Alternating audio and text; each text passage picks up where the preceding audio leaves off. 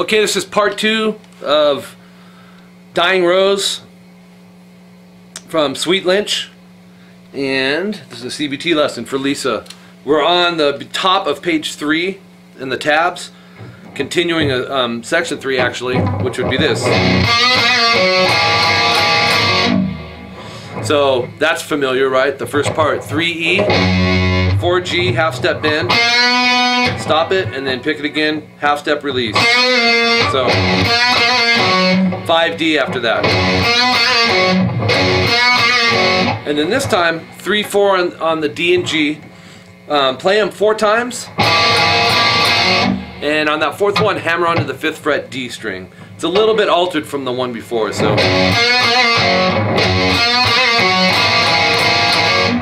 One three three A D G. This is actually something we did earlier. Twice. So two times open A and then one three three E A D. And then, if you listen close, you will hear after the rest fret hand muting, which you know just lightly um, set your fingers over the strings and go down up. It doesn't have to be, you know, over all six. Just emphasize, you know, E through G, or you know, aim for that. Don't aim to get all six. A mute's a mute, but you don't want it to be that's too thin, and that's too big. So, um, so we have, and then this part, I love this progression.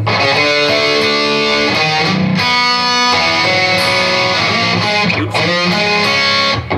Gotta do, do it again. Can't go down like that.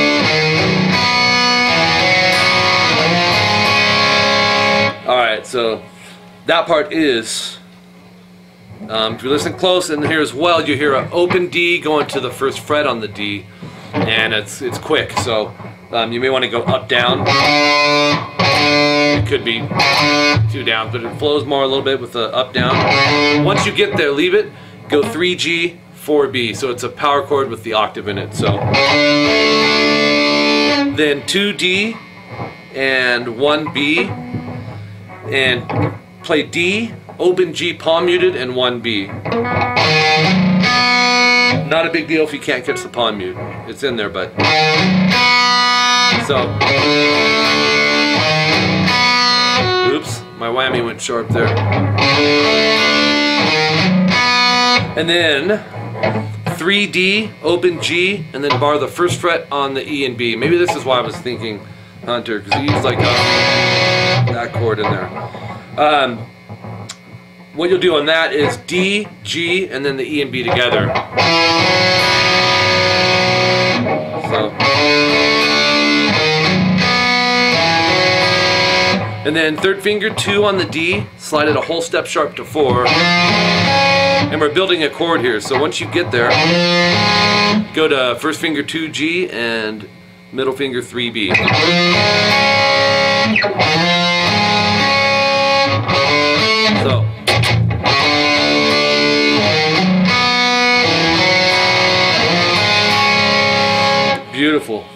And then you're back, you know, that's, you'll go, uh,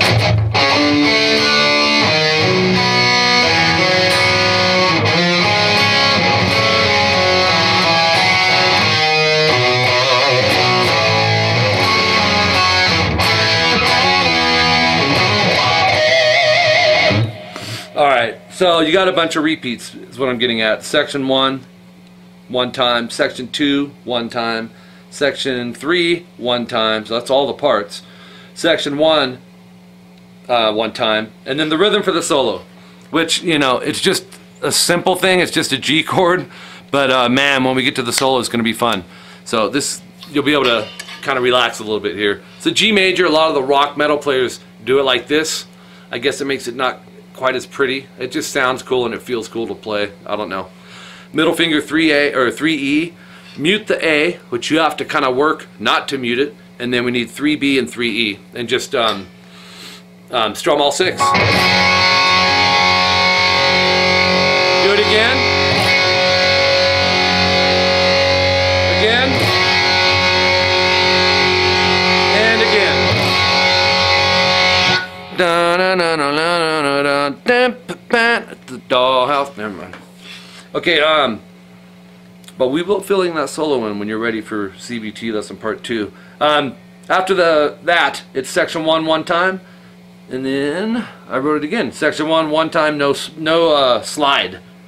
You won't be sliding off of the. Uh, you'll just go, and you end with the G major chord, the one you just did for the rhythm of the solo. Okay, so moving along. Um, I kept going on it, so we got um, a little over a, well, the starting of two pages of some of the solo stuff. And I wish I had my wah wah pedal here because it would be cool to have it. Am I missing a page, man? Don't tell me. Oh no, thank God. There it is. The top of page four. There's a wah wah pedal, man, and it sounds killer. I wish I had it here with me. I don't. Um, primary effects are like delay and reverb. But um, here we go into the solo. I'm gonna, and I got it into subgroups for you too, Lisa. So you'll see what I mean. Um, we have, yeah.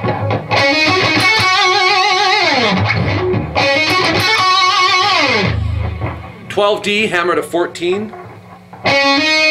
12G, 14D palm mute, so and then 12G hammer to 15, and then 12G vibrato slide.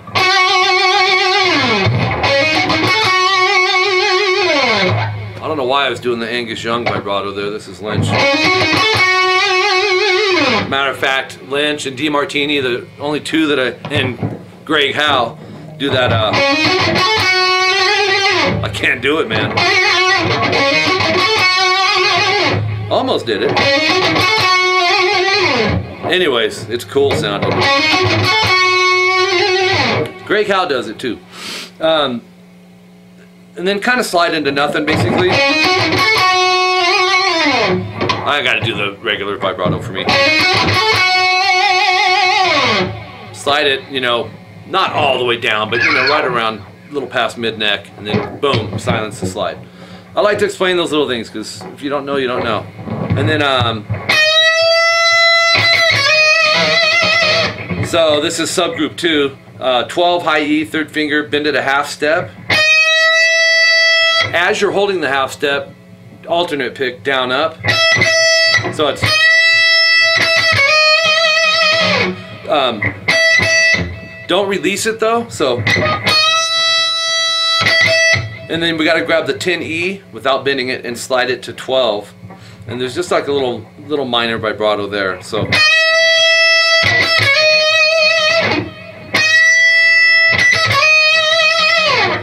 And then um, this, I just love Lynch's note choice here. You'll go 10, 12 on the high E, down up and then middle finger 11B. Um, kind of an exaggerated like um, whole step bend vibrato.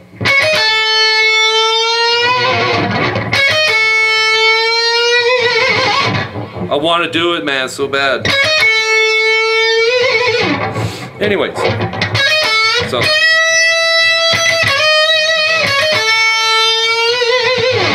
Um, after that, subgroup 3 comes in. Um, this is fret 18, whole step, and then a half step end. Um,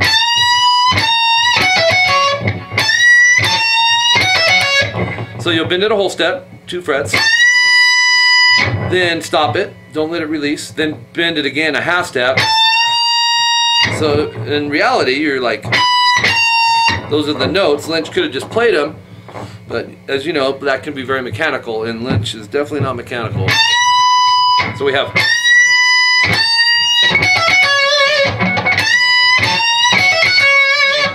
Fifteen E, eighteen B, and then fifteen E, fifteen B, and then um, you'll bar it. So or use two fingers on fifteen B and E. So when you do that, after you go you may want to add the middle finger there, but um, so it'd be. You'll hear the whammy in there, doing the vibrato. So after you go. And then 17 high E. And there's a pinch harmonic, half step bend, slide.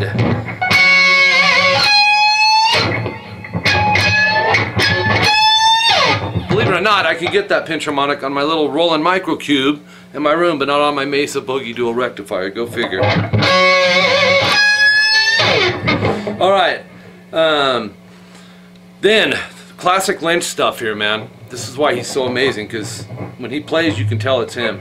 Real, like, abstract and, and choppy and flowing all at once.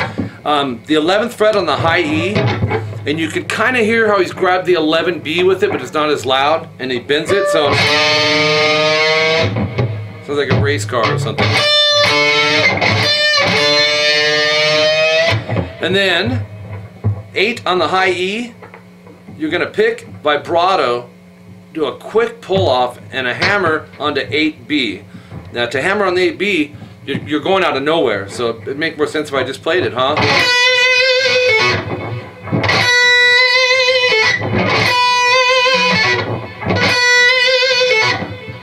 Slow. Alright, and then um, this next part, really cool. You'll go 8 on the high E, you're going to bend, release, pull off to 6.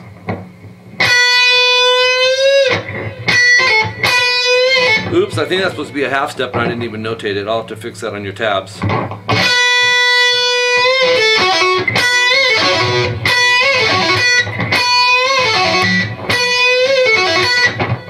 Yeah, I need to notate that. Now I'm going to forget. Although I will double check it. Okay, so.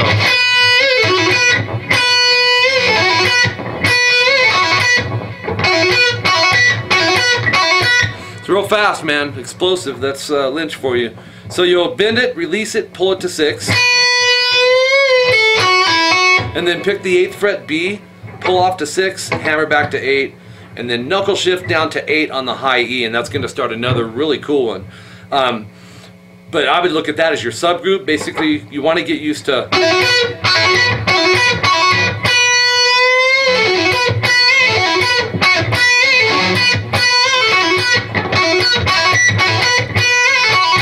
Right? Once you get to the eight,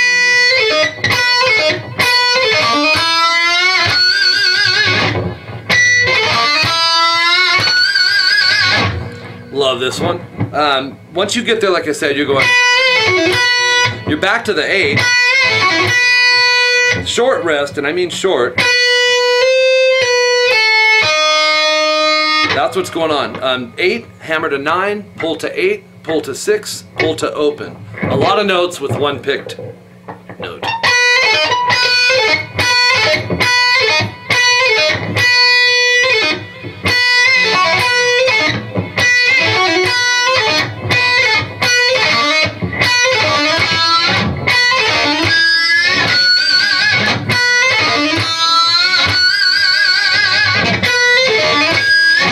me show you the next part.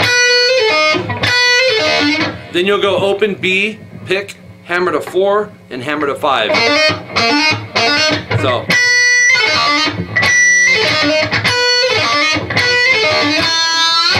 And then go 6B. You're gonna put a pinch harmonic on that and bend it a whole step. And then move to 8B, pinch harmonic vibrato, slide. Kind of slide it to nothing, but.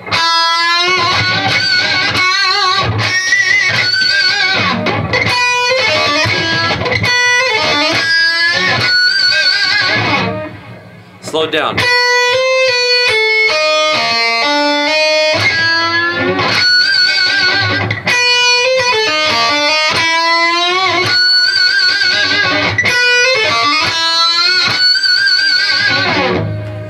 And that's it for the solo. Um,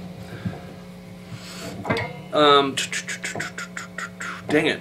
Earlier on, I said that I caught something in the intro riff that I'd be explaining later. I don't know if this was in the intro, but it's definitely at the end. I think. You'll know it. It's the the country sounding one, um, which was.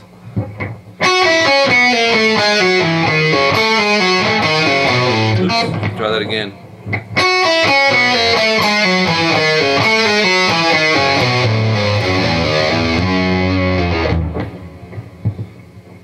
You almost want to think in groups of three. I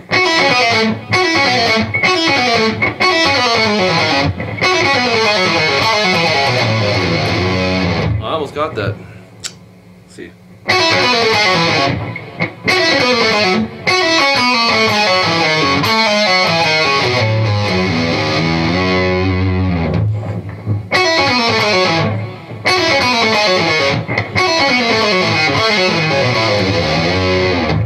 Slow down. You're gonna go. You're gonna go. Just kidding. Uh, three high E, pull off to one. Three B, down. One B, up, pull off to open. Three G, down. So we can just kind of try it to there. You'd have.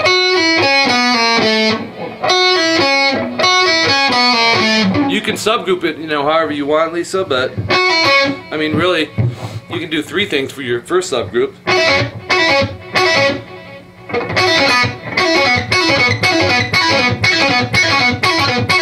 Right?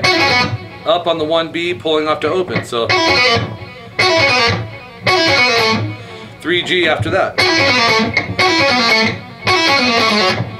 So after the 3G, down, go up on the 2G, pull off to open. 3D down, up on the 2D, pull to open. That's the first chunk of it. So we have.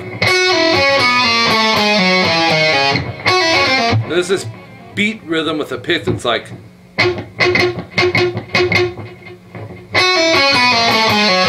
Right? Da, da, da. That's your pick notes.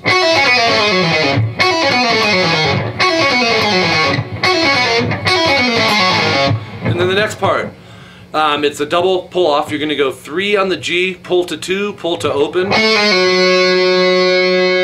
Three on the D, pick down, and then pick up on the second fret and pull to open. So you have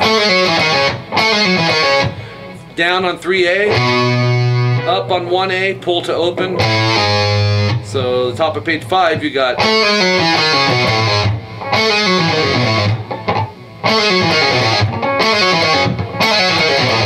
you know, group them, you know, could just be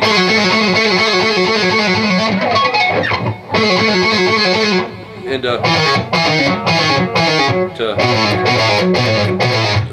Figaro, Figaro. And then the low E is a double pull off. You'll go 3E, pull to 1, pull to open, and then pick the 1. And slide to 3. And then slide that. You don't have much room to slide, so you're going to slide around fret 1. And then stop it with this hand so you don't wind up with this note ringing. You don't want it to be. We don't want that. We want it to stop in flight, if you know what I mean, as you're sliding. So. So right when you get over fret one, boom, just do the old karate chop. Um, I listened close on this. Here, let me uh, sit down. Let me sit down. Um, on the end, like I said, I- we had two different concepts that I was using, not we, but me, when I was figuring this out. And um, so I did, you know, the iTunes thing, and then I couldn't get it on my PC. It said I had to authorize my PC. I'm like, what the heck's that all about?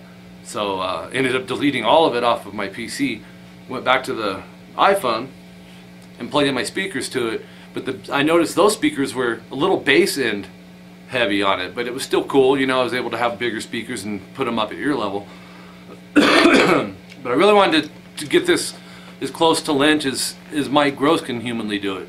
So then um, after the fact, I listened to it strictly on my iPhone, which is going to be a little tiny speaker, which naturally is going to let more of the high frequencies cut through. And I heard a few, few things that I wasn't quite hearing or hearing loud enough um, with the bassier speakers. And one thing I wasn't positive on is the, the country Nashville sounding riff, the one we just did. It's uh.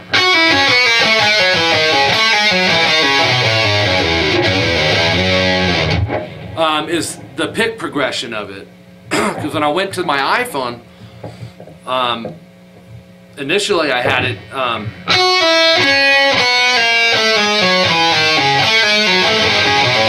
doing a lot of double rolls for the pull-offs, um, and then listening on the iPhone, or, or vice versa. I can't remember which source I was using, but I couldn't hear the pick attack as much, so it was probably on the bassy speakers. But I do believe this is, you know, the notes are there, the notes are right. Um, I'm 99% sure I've got the, the way that Lynch is picking it and everything, but you know. Um, I had a blast doing this, needless to say. Um, a lot of times I use pens when I do my CVT lessons for my students. I knew in advance, after hearing this amazing song that Lynch and Michael Sweet did, that I better use a pencil with an eraser on it. And thank God I did. So anyways, um, thank you. Let me know when you're ready to move on to the solo and all that stuff, man. I'll have I'll have a blast doing it. And if you have questions, you know you, you know how to contact me. You see me on Facebook and you got my email and all that good stuff. So just uh, let me know if you have any any issues or troubles with it. Okay.